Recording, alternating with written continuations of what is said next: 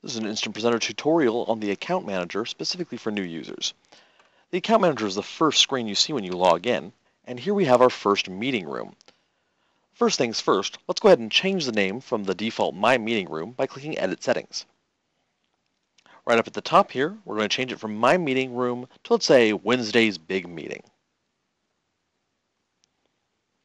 This is going to change the name of the meeting room and any subsequent meetings that I schedule for it. Click Update here to change. And we see the meeting room's name has been changed. Next thing we want to upload some slides via this Upload Slides button, so we can show these during the live meeting.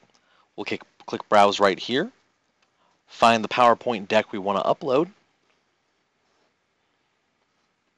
and put that in the Browse field. We almost always want to toggle this Preserve PowerPoint Animations toggle directly above it, just to be safe, and click the Upload button. After a short upload and conversion process,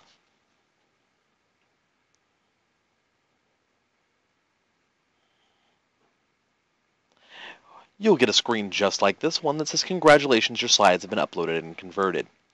Now we could preview the slides next if we wanted to,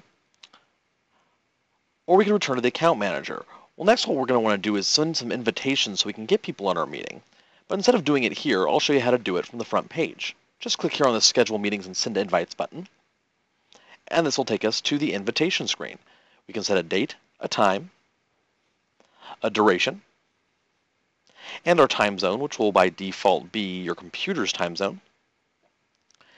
Now, if you wanted to use our My Webinar Hub, you could click this Make Public button.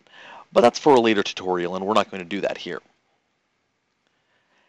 Here are our email lists. You're going to include the email addresses of all attendees that you would like to invite to your meetings. This is who you'll be actually sending these invites out to.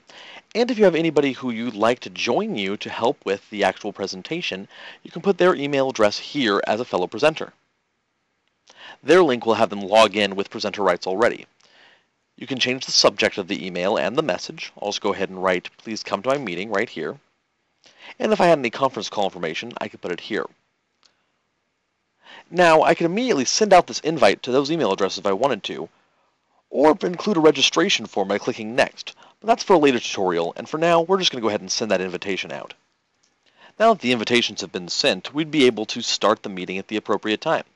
Let's go back out to the account manager now and take a little deeper look around. First up, up at this tab up here is the Meeting Manager. A very useful area, so let's take a look. In the Meeting Manager, you'll see that we have a list of all upcoming meetings that have been scheduled and any meetings that have already occurred in the past. If I wanted to schedule a new meeting, I could do so here, as well as from that front page I showed you. And by clicking on the name of any meeting, I can go to the Meeting Details page, where I can invite more people to that specific meeting, email them, get useful URLs to send out, and all sorts of reports from down here at these tabs. Let's head back out to the main page again, this time via the My Account tab. Next, let's take a look at the Recordings page. This is where all the recordings are going to appear once you make them. As we see, we have one recording here. We can play it. Here's the important URL to send out to anybody that you'd like to view this recording. And by clicking down here, this Manage Registration Form link, we're actually taken to the meeting details for that recording. You're going to see we have a recording specific URL there. You can invite people to view the recording, email attendees, everything that you could have done for an upcoming or past meeting. And back at the account manager, we can create new meeting rooms. We can upload any additional content besides just that original PowerPoint slide to our content library, and that's pretty much where you want to put it. And change our meeting rooms to look however we like in the branding area. By now, you should know your way around the account manager and be able to set up and schedule your very first Instant Presenter meeting.